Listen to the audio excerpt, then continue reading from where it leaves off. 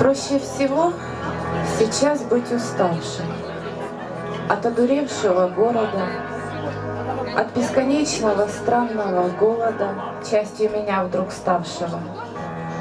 И оставаться, конечно же, сильной, в субботу забыться и дальше, и так безудержно, невыносимо взрослеть, становиться старше, с каждым разом, как не чудеса, а совсем напротив. И лихорадочно что-то писать на обороте книжки, мечтать о тепле плеча и о том, что вечер, и тому, который об этом молчать и думать, что станет легче.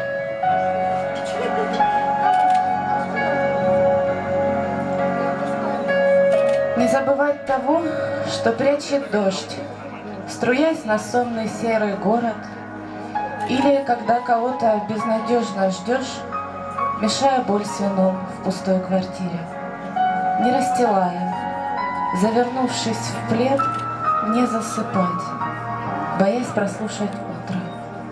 Ни для кого не расправляя плеч, стареть, сидеть и улыбаться мудро.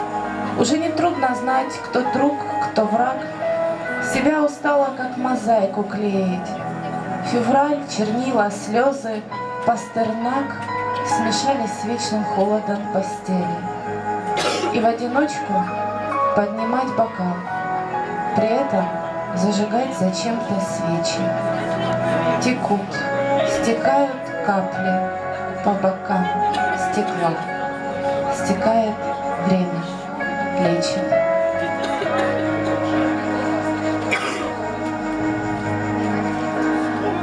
разговоры слаженные и просты.